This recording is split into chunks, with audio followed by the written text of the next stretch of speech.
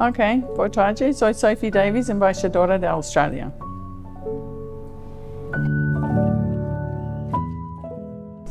Yeah, I think uh, the question here is a diplomat as a woman.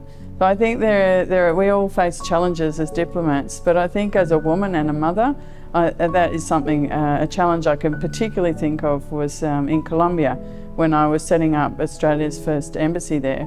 And it was exciting. It was post uh, signing of the FARC agreement, and there was a lot to do recruit the team, you know, make the relationships, do everything you have to do, find a home. But I also had my three teenage sons with me and my husband. And I think the challenge was as much as uh, the work side, it was making sure that my three kids were okay. And that was, that was, that was very tough. it was very tough. And I think uh, at the time I always said to everyone, I would not recommend moving countries with three teenage children. But we all made it. It was a good challenge.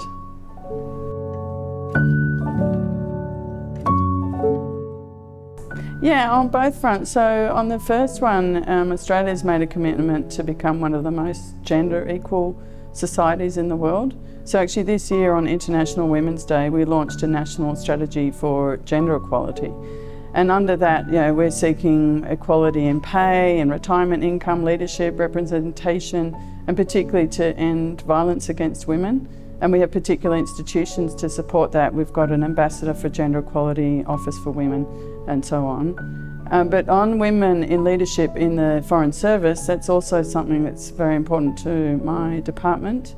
In 2015, we, were, uh, we recognised that women weren't progressing through the diplomatic career as much as men. There were not that many uh, women in senior leadership positions. And we undertook a study to work out what the barriers were. And out of that came a women in leadership strategy, which started in 2015. And um, as a result of that, you know, the department has gone from having around 22% uh, women as heads of mission, ambassadors, to today we're more than 43%. And I'm really happy to say, you know, for me, I was the first um, Australian female ambassador in Colombia, and I'm the first female um, Australian ambassador in Brazil, and it's a, it's a really proud uh, thing for me. Thank you.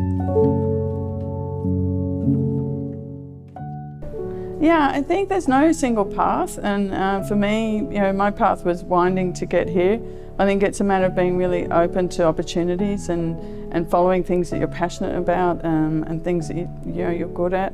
Like for example, my career path, I started as a lawyer and then I worked in outdoor education and then I worked in international development for a long time and then I moved into uh, the diplomatic career.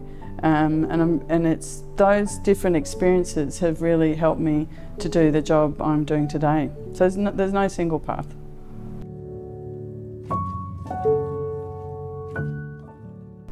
Empoderamento. Essa é minha, minha palavra.